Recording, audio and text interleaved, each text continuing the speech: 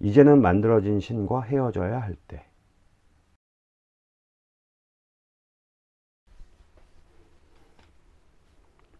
안녕하세요. 노랑잠수함입니다. 오늘은 이 책. 신 만들어진 위험. 신의 존재를 의심하는 당신에게 라는 책입니다. 이 책은 리처드 도킨스가 썼고요. 김명주 씨가 옮겼고 김영사에서 출간한 책입니다. 원제는 Outgrowing God, A Beginner's Guide라고 되어 있습니다. 초보자를 위한 안내서라네요. 그러면 이후에 또 다른 책이 나올 수도 있다는 얘기가 되지 않을까 싶은 생각이 좀 들긴 합니다. 이 책은 2021년 2월 1일 날 출간됐다고 나오고요. 제가 아마 3월 초순쯤 사서 한 2주 정도 전에 이제 읽었고요. 어, 리뷰는 좀 늦어졌습니다만 이 책을 읽으면서 든 생각은 뭐 어떤 의미일지 모르겠습니다만 어, 역시 리처드 도킨스다라는 생각을 좀 했습니다. 제가 이 책을 읽고 쓴 리뷰를 참고해서 영상을 진행해 보도록 하겠습니다. 어, 리처드 도킨스의 종교, 신을 부정하는 또 하나의 책이 나온 셈이죠. 전작은 만들어진 신이라는 제목의 책이었고요. 아, 10년 전쯤 나왔던 걸로 다 기억을 합니다. 그 책이 그 당시에 종교계에 꽤 큰 타격을 주었던 걸로 다 기억을 합니다. 그간 나온 책들 중에서 그 만들어진 신이라는 책처럼 꼼꼼하고 체계적으로 신을 부정하는 책이 나왔다는 사실이 그리고 그 책이 세계적으로 되게 큰 반향을 불러일으켰다는 사실이 종교인들에게는 꽤나 화나는 일이었던 것 같아요. 그래서 그 만들어진 신이라고 하는 책을 부정하는 그래서 표, 책 표지도 되게 비슷하게 만들어진 그런 책들도 그 이후로 좀 나왔던 거다 기억을 하고요. 제가 그 책을 읽은 게 제가 찾아봤더니 2013년도더라고요. 그 당시에 이제 블로그를 뒤져보니까 리뷰를 좀 써놓은 게 있는데 꽤나 고민을 좀 하면서 리뷰를 썼던 것 같아요. 그 만들어진 신이라는 전작은 진화론적인 관점에서 신이 존재하지 않는다라는 걸 좀 증명을 좀 했고 사회적으로도 신을 믿는 사람들에 의한 피해 사례를 꽤나 많이 소개를 했던 것을 기억을 합니다. 신이 없다고 해도 아니 아예 신이 없는 걸 인정하면 오히려 더 인간적이고 선한 목적의 인류 발전이 가능하지 않겠느냐라고 반문했던 내용으로다가 기억을 합니다. 사실 뭐 이 책 자체도 내용만 보자면 만들어진 신하고 큰 차이는 없는 것 같아요. 일단 큰 전제가 동일하고 신을 부정한다라고 하는 측면에서 동일하고 다만 이제 그걸 좀 증명하는 쪽에 좀 더 그 힘을 쓴 모양새입니다. 그러니까 전작 같은 경우에는 그 신이 없다라고 하는 걸 전제로 신을 믿는 사람들에 의한 피해 사례 이런 것들도 좀 많이 좀 이야기하고 그랬는데 이 책은 그런 것보다는 신이 없다는 걸 좀 더 증명하는 그런 쪽에 조금 더 많이 기운을 쓴 그래서 객관적인 걸 좋아하는 사람들에게 어필하고자 하는 책이 아니었을까라는 생각이 들기도 합니다. 저 역시 무신론자입니다. 따라서 저에게는 이 책의 내용은 사실 너무나도 당연한 내용이다. 반박할 여지도 없고 뭐 고민할 여지도 없는 책이다라고 생각을 합니다. 이걸 이렇게 구구절절히 설명을 해야 한다는 게 얼마나 무의미한가라는 생각을 좀 하기도 합니다만 사실 뭐 세상에는 신의 존재를 믿는 사람들 그리고 그들의 믿음을 이용하는 세력들도 너무나도 뚜렷하기 때문에 이렇게 친절한 설명이 필요한 것이 아닐까라는 생각이 들기도 하고요. 그러니까 이 책은 크게 두 단원으로 구성되어 있습니다. 먼저 인간 사회에서 신이라는 존재가 필요한 이유가 무엇이고 세계의 종교들이 어떻게 서로 연관이 되어 있고 신이 어떤 이유 때문에 존재할 수 없는지를 설명하는 그런 부분들이 좀 있습니다. 크게 이제 어, 신을 믿는 이유와 뭐 이런 것들, 사람들이 왜 신을 믿는지, 신이라는 존재를 믿, 음으로 인해서 사람들에게 어떤 긍정적인 효과가 있는지에 대한 부분들을 좀 설명하는 부분들도 좀 있고, 하지만 그럼에도 불구하고 신이 없다라고 하는 것다 되게 길게 설명을 해놓은 그렇게 이제 나뉘어져 있습니다. 이 책을 제가 읽은 지 약 한 2주 정도 지났는데 지금까지 기억나는 내용은 음, 몇 가지 좀 정리 좀 해보자면 이렇습니다. 첫 번째는 우리는 이제 그 도저히 믿을 수 없는 일이 일어났을 때 그런 걸 직접 목격을 했을 때 어떤 반응을 보이는지에 대한 이야기가 이 책에 나오거든요. 있을 법하지 않은 두 가지 일이 서로 충돌했을 때 그나마 덜 이상한 쪽을 선택하는 것이 늘 합리적인 선택이다 라는 거죠. 제가 그럼 신을 믿지 않게 된 이유는 뭘까 생각을 한번 해봤어요. 대략 한 두 가지쯤 되는 것 같아요. 어, 하나는 신을 믿는다는 사람들의 적당한 타협이 저를 가장 힘들게 했었거든요. 음, 신이라는 존재는 절대자인데 그 무엇보다 앞설 수밖에 없는 절대 가치일 수밖에 없을 텐데 그의 명령 앞에 적절하게 타협을 하면서 눈치고 넘어가는 게 저는 도저히 이해가 안 갔었어요. 그 당시에 제가 중학교 때 진짜 교회를 열심히 다녔었는데 되게 힘들었었거든요. 왜냐면 성경에 나오는 이야기들을 그대로 따르자니 친구들과 사이도 너무 멀어지고 불편하고 힘들고 그래서 되게 괴로워했었는데 교회에 가서 엉엉 울면서 기도를 했었거든요. 그랬는데 그 전도사님이 그렇게 힘들어하지 않아도 돼. 그러니까 저를 위로하기 위해서 하신 말씀일 것 같아요. 교회 나왔을 때 열심히 기도하고 회개 기도 하고 친구들과 어울릴 때는 조금 편하게 있어도 돼 라고 얘기를 했는데 전 그게 진짜 용납이 안 됐었거든요. 그래서 그럴 거면 뭐하러 신을 믿어 라는 종교적인 표현을 빌리자면 어, 시험에 빠진 거죠. 그 전도사님의 위로의 말이 오히려 저를 시험에 빠뜨리는 일이 있었던 거죠. 그게 계기가 돼서 조금씩 조금씩 마음이 떠났고 결국에는 이제 무신론자로 돌아선 거고요. 두 번째는 증명에 관한 부분입니다. 모든 종교는 사실 절대자인 그 신을 증명하지 않아요. 그러면서 믿으라고 말을 합니다. 성경에는 보면 그 특히 그 구약성서의 내용들을 좀 보면 신이 인간한테 아주 수시로 모습을 드러내거든요. 수시로 기적을 보이고 함께하고 그런 이야기들을 무수히 들려줍니다. 그런데 그런 신이 인간과 함께 했다라고 하는 사실은 객관적으로 증명되는 사실은 한 번도 없었던 것 같아요. 물론 교회에서 그 간증한다고 그러죠. 그럴 때 보면 되게 다양한 모습으로 신을 체험했다라고 이야기하는 분들은 많아요. 근데 그 사람들의 이야기를 듣다 보면 저게 무슨 신을 만난 증거야? 단지 그렇게 해석하는 것 뿐이지라는 생각이 드는 경우들이 너무 많다라는 거죠.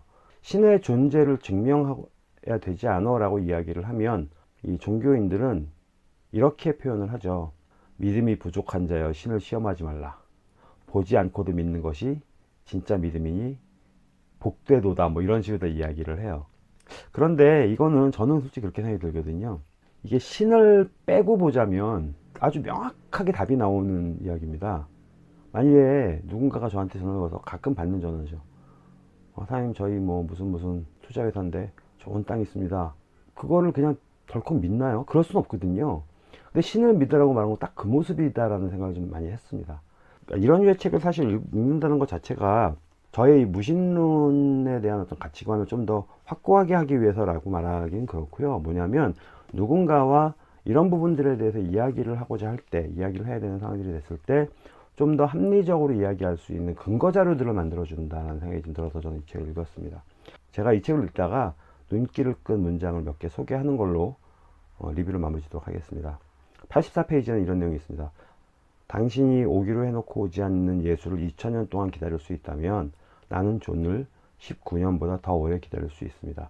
여기서 이제 존 프롬은 뭐냐면 그 뭐 cargo cult라고 이야기하던데 세계 2차 대전 때 원주민들 사람들이 갑자기 문명 국가에서 비행기를 타고 날라온 선교사들도 있고 뭐 군인들도 있고 하겠죠. 그러면 그들이 온 다음부터 갑자기 하늘에서 비행기가 막 나타나면서 계속 무언가를 떨어뜨려 줘요. 근데 그 안에서는 먹을 것도 나오고 옷도 나오고 온갖 좋은 생필품 문명 상품들이 계속 나오죠. 그러니까 그들로서는 그게 되게 기적적으로 보이는 거예요. 그래서 그들이 어떻게 생각하느냐면 아 이건 신이다.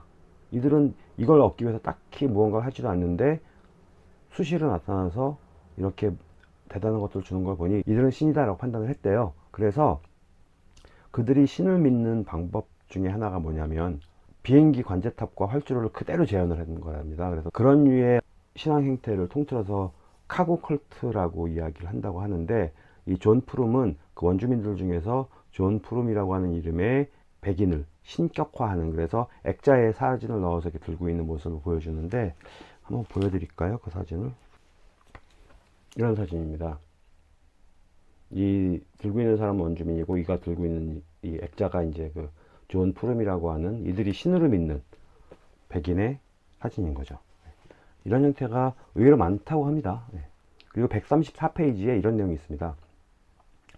저는 사실 이 문장이 진짜 마음에 와닿았거든요. 죽은 후 영원히 불지옥에서 헤어날 수 없다고 어린이를 위협하는 사람들에 대해 어떻게 생각하는가? 내 대답은 이렇다. 그런 사람들은 지옥 같은 장소가 없는 것을 천만 다행으로 알아야 한다.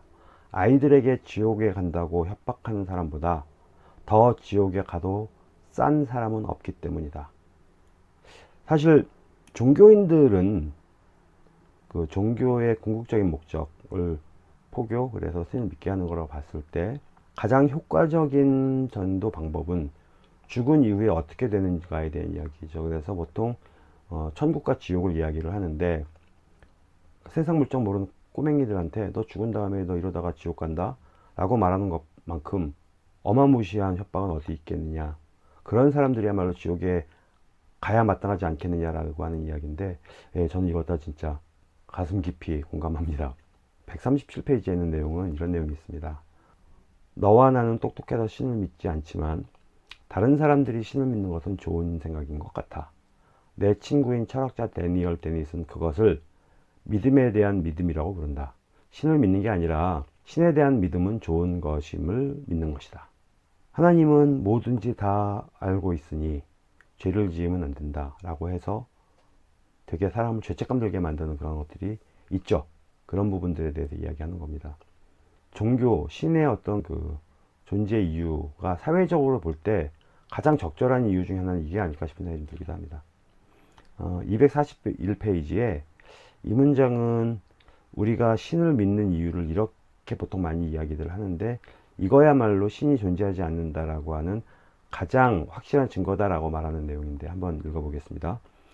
한 번의 저절로 생겨난 시계처럼 있을 법하지 않은 일이 결코 아니었다.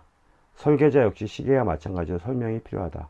시계공은 이렇게 설명할 수 있다. 그는 한 여성에게서 태어났고 그 전에는 아주 길게 이어진 조상들을 통해 느리게 점진적으로 진화했다. 모든 생물은 똑같이 설명할 수 있다. 그러면 모든 것의 설계자라는 신은 어떻게 될까?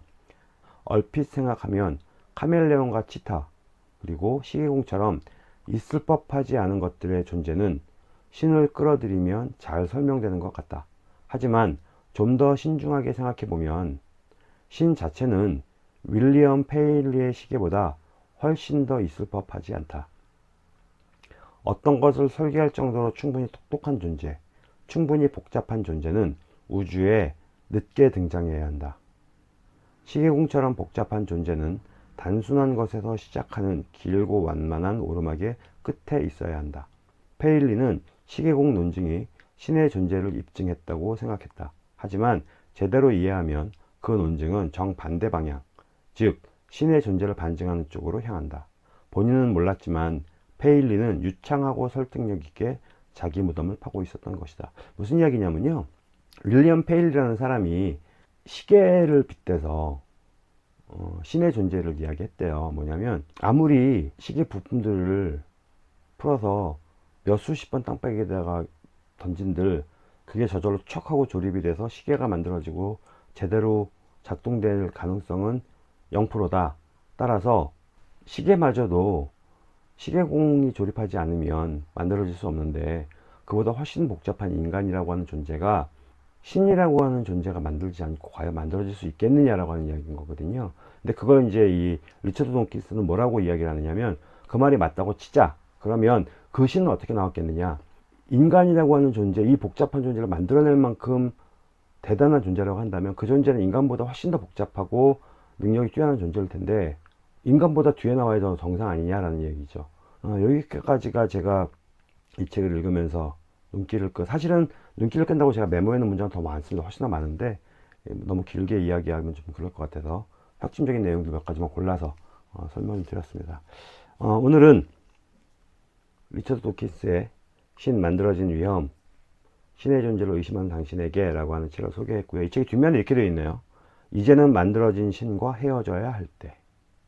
감사합니다. 노랑겸솜이었습니다.